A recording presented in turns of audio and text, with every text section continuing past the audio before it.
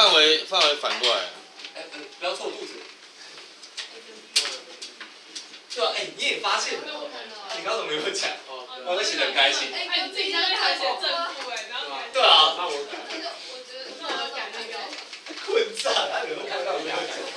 我改。好，我们讲一下范围是十四，有改的朋友，这样多钱？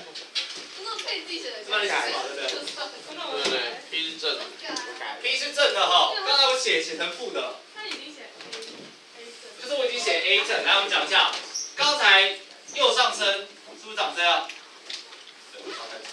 它中间是一个递增的图形哈，所以它不会有任何的弯道在里面，可以吗？右上升，那右上升的特性是什么？就是它的一次项跟它的一次项系数要一样，就是它写成配方完的形式，a 倍的 s 减 h 的三方加 p 倍的 x 减 h 再加上 q，这两个必须要同号正正嘛。右上升，所以 a 领导项系数是不是要大于零？而且 a 跟 p 是不是要怎样？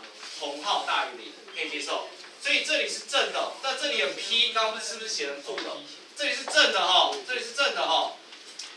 把它解一下，把它解。来，我们把它解完。看一下哦，p 是哪边？p 要带数字是不是？c 减掉。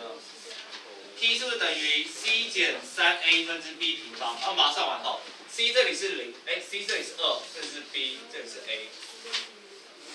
a，a 是一，把它带进来，c 就是二，减掉三乘以一分之 b 的平方是负 a 平哦，然后要大于零，所以你会得到 a 的平方，哦，三分之 a 平要大于零，这个跟刚刚的结论刚好倒过来嘛，对不对？a 平方小于六，对，a 平方小小于于六，六，a 介于正负根号六。对，a 介于正负根号六之间，我这直接写个好。